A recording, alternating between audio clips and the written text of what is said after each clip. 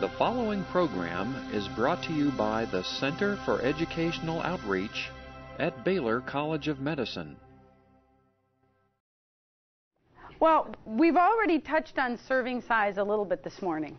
And the next activity that we're going to do helps students get, develop better skills at estimating serving sizes. And I think the importance of this has become pretty clear as we've gone through the morning and we've already had a discussion of supersizing portion sizes.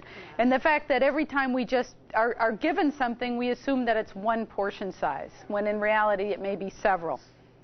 So we have. Uh, we, we, we might start this activity. I've got some food items out on the table, but before that, you might even want to ask your students first, well, what is a serving size? And get some feedback from them about what they think a serving size is.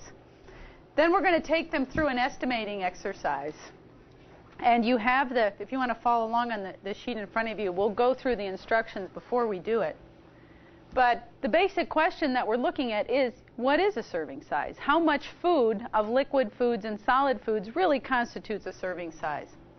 So we're going to be looking at four different foods. We're going to be looking at peas as a vegetable, popcorn, which is a snack food, um, oat cereal again, because we have lots of oat cereal, and uh, a soft drink. So those will be the four foods that we'll be investigating. What you're going to do is for each food, you're going to decide without working with the food itself, just between, within your group, decide how much in cups you think is a serving size of that food. And go ahead and write it down. And on the, on the table. Then we'll give you some measuring cups, plates, and for the soft drink, a large container. Come over here to the table and actually measure out the amount that you said was one serving size. Put it on a plate and bring it back to your table. And take a look at it.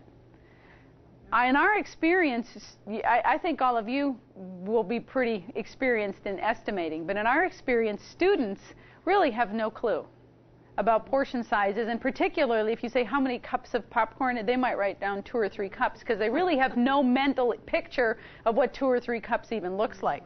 So, first, you're going to write your prediction of what you think um, a serving size is, go out and actually measure out that amount. So if you wrote down seven cups of popcorn, you'll measure seven cups of popcorn. So do this as a group activity so you can just record your, your, your estimates on, on one sheet as a group. And do it in cups. Make your estimates in cups because, because usually what do you see on a package? Cups, half cup, one cup, two cup.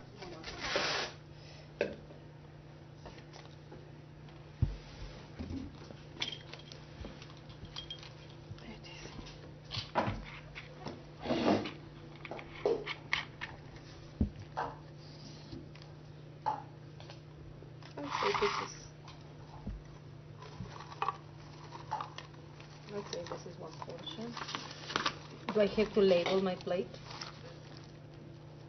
No. We can distinguish. Unless you want to call it your estimate.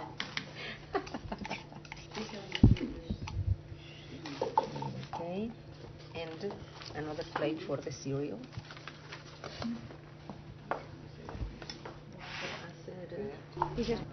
So what you have in front of you is the estimate that you made based on first what you thought it might be in cups, and then you went out and measured it.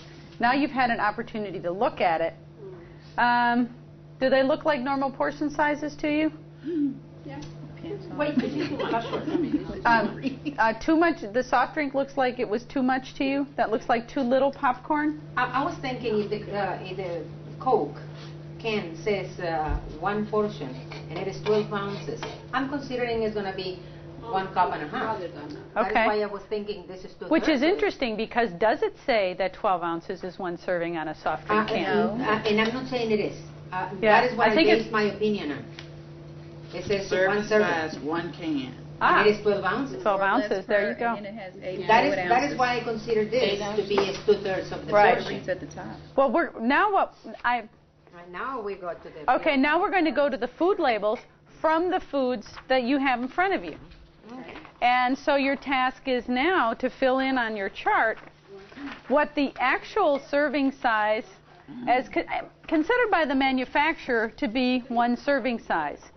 So go ahead and fill that in on your chart and go back and measure out that quantity again so that we can compare the actual recommended serving size by the manufacturer with what your estimates were. Let's take a look at what you estimated was a portion size and then what turned out to be a portion size based on the label information. Okay, the, the popcorn, we estimated one cup, and this is our estimate. The actual serving amount This is the amount was Three three cups. cups. This is the serving amount for the popcorn. The green peas, we estimated um, third. one-third cup. And for the actual serving size, it's two-thirds cup, which is a bit more. Now, for the Cheerios, we estimated one cup, I'm sorry, yeah. Cheerio, no, one half cup. And the actual serving size is one cup, which actually doubled what we thought it would be, which is more, I guess, of an adult serving size or whatever. And the soda, we came pretty close to the estimate uh, with the actual serving size. Do you think this would be revealing for students to go through this and I think so.